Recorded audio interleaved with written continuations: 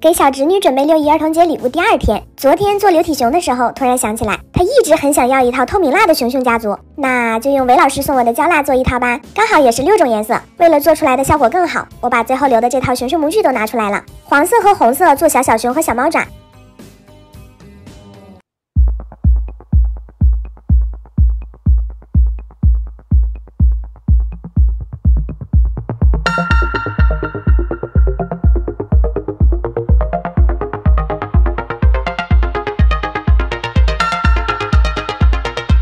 两勺应该不够，那就再加一个炉子。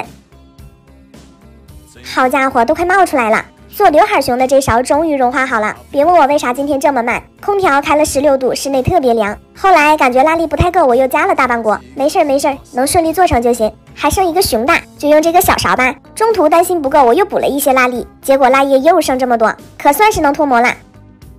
妈呀，这几个好黑！